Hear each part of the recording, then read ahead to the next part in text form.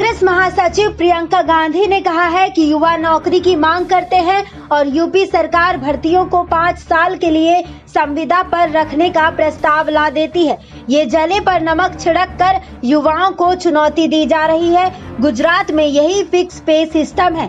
वर्षों सैलरी नहीं बढ़ती परमानेंट नहीं करते। उन्होंने कहा कि युवाओं का आत्मसम्मान नहीं छीनने देंगे। प्रदेश अध्यक्ष अजय कुमार लल्लू ने भी तीखी प्रतिक्रिया व्यक्त करते हुए कहा कि कर्मचारियों की दक्षता और प्रदर्शन को तय करने वाली सरकार अपने मंत्रियों की दक्षता मापने और कानून व्यवस्था, महिला उत्पीड़न और बच्चियों के साथ दुष्कर्म और हत्या को मापने का भी कोई पैमाना लाए।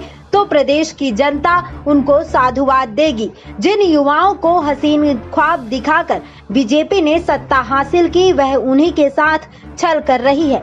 यही युवा थे जिन्होंने सरकार का ताली थाली बजाने और दिए जलाने में साथ दिया। लेकिन जब वह रोज़गार की मांग लेकर ताली थाली बजाए या दिया जलाए, या दिया जलाया तो सरकार ने इसका संज्ञान नहीं लिया।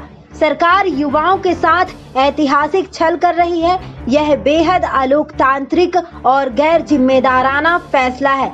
अजय कुमार लल्लू ने कहा कि राज्य कर्मचारी का एक बड़ा हिस्सा लगभग 70 फ़ीसदी समूह खा और समूह गा से आता है।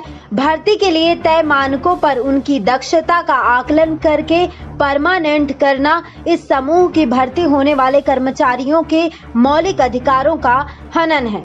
बता दें, प्रियंका गांधी ने कहा, सरकारी नौकरी में संविदा पर रखने का प्रस्ताव जले पर नमक छिड़कने जैसा है। जानकारी सूत्रों एवं सूत्र स्रोत से प्राप्त है। इस जानकारी पर आपकी क्या राय है? कमेंट बॉक्स में कमेंट कर ज़रूर बताएँ। बाकी तमाम जानकारी के लिए बने रहिए हमारे साथ। एस पी न्यूज़ रूम से श्रुति की रिपोर्ट।